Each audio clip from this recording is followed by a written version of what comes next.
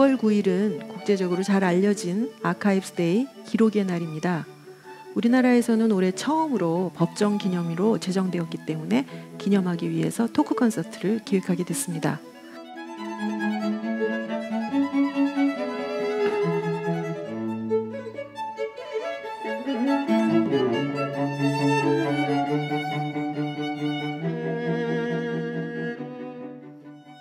항상 어렵게만 생각되는 기록을 음악 그리고 미술과 함께 전문가 선생님들의 설명과 함께 들어볼 수 있는 이야기해 볼 수 있는 기회입니다.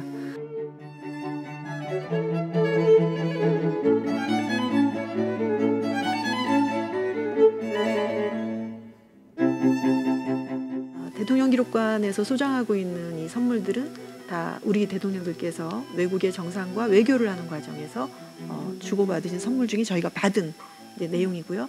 이것은 당연히 국민의 것입니다. 대통령 기록관에서는 국민 여러분들께 이 소중한 기록 자산을 전달하고자 하는 여러 방법을 찾고자 하고 있고 전시가 그 중에 이제 한 활동입니다.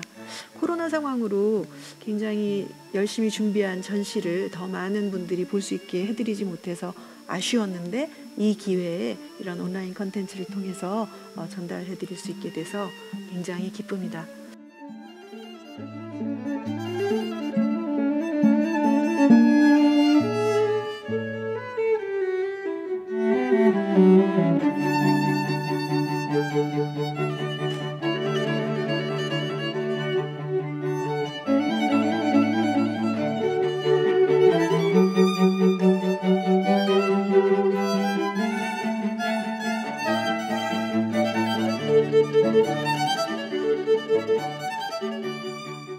이 토크 콘서트는 아, 사실 대통령 기록관의 최재희 관장님, 또 기록 서비스과의 박종철 과장님, 김정은 연구관님과 많은 실무진들이 애써서 수고해서 만든 컨텐츠입니다.